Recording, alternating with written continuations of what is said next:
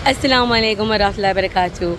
So today on Positive Parenting, this is something that I would like to share with all parents, with moms, with dads, with teachers, with family members, with everybody. So we talk about treating women kindly, uh, gender-based violence, 16 days of activism. There's no such thing.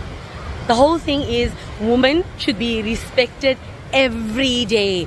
It is in every every holy scripture. It is instructed by God for us to respect women. So what do we do? How do we teach young boys respect your mother, respect your sister, and respect every woman because she's somebody's daughter, somebody's sister. It starts from us here at home. When dads respect the mums, show them kindness, when dads respect their sisters, their aunts, their grandmothers, their mothers, and all the women that God instructed them to look after, that is what your son is going to grow up doing. That is what your daughter is going to expect from every man that calls himself someone that is her family, her immediate family.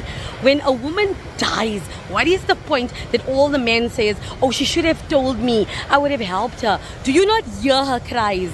Do you not see that she's unhappy? What is the point of saying, I don't want to get involved? It's not my problem. Yes, it is your problem. God gave you this responsibility. If you are a father, if you are a brother, if you are a grandfather, if you are a maternal or paternal uncle, if you are a nephew, if you are a son-in-law, if you are a stepson, you have a responsibility to protect the woman in your care. That is the religious obligation that is given to you by God.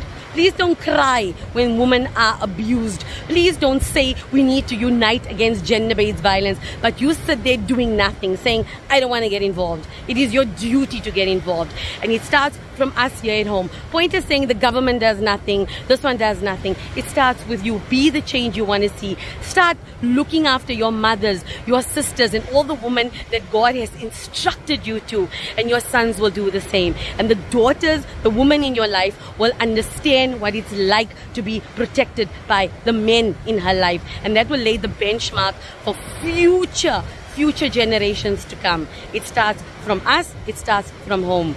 Be a man. Real men do not hit women. Real men do not abuse women. Real men are protectors. This is your obligation to every woman around the world. From me, Bibi Aysha Laher, Yainam Shlanga Beach, November 2022.